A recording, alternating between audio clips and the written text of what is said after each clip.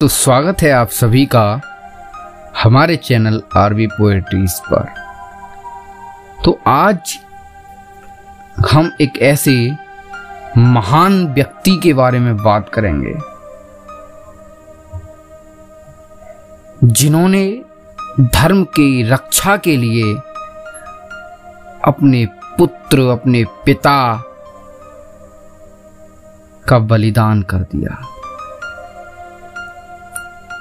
ऐसे महान गुरु को सर्वप्रथम तो कोटि कोटि नमन करता हूँ और आगे उनके लिए उनके बारे में कुछ बात करते हैं। परोपकारी गुरु गोविंद सिंह जी में सबसे बड़ी बात यह थी कि वे अपने आप को औरों जैसा सामान्य व्यक्ति ही मानते थे।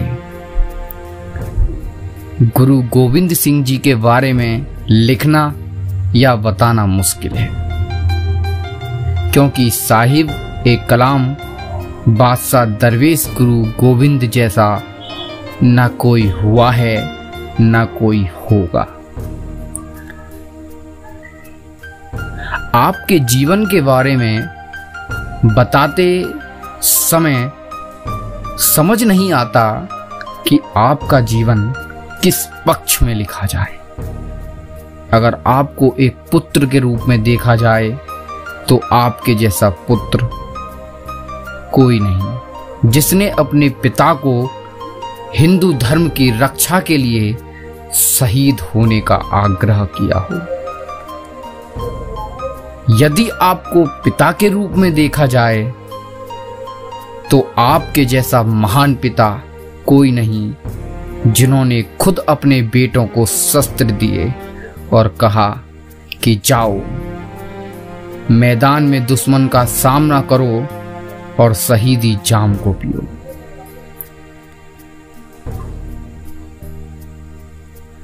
यदि आपको लेखक लिखारी के रूप में देखा जाए तो आप धन्य हैं। आप सिखों के दसम, यानी कि दसवें गुरु हैं।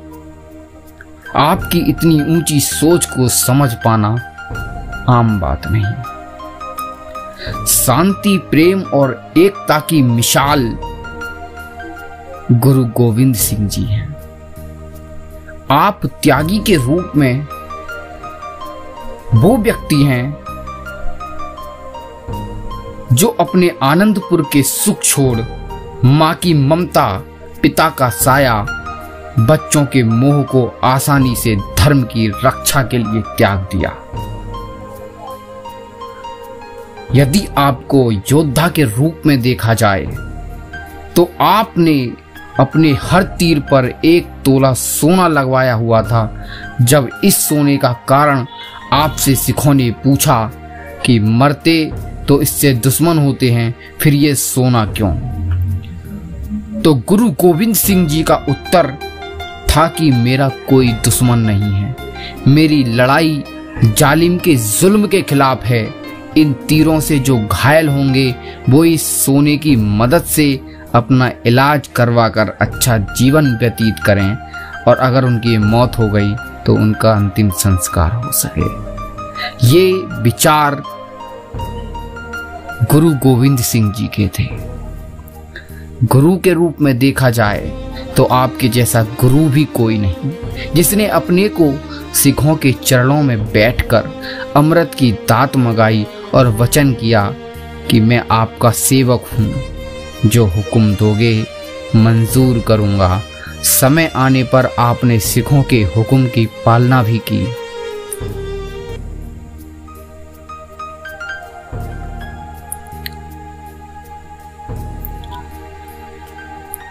आप वो व्यक्ति थे जिनका जैसा ना तो इस धरती पर हुआ है, ना कोई होगा। आगे चलकर मैं केवल आपके किए हुए, आपके कहे गए केवल वही शब्द सवा लाख से एक लड़ाऊं, तब मैं गुरु गोविंद कहाऊं जो मन को प्रफुल्लित, उत्तेजित कर देते हैं। आप जैसे गुरुवर को कोटि कोटि प्रणाम, कोटि कोटि नमन।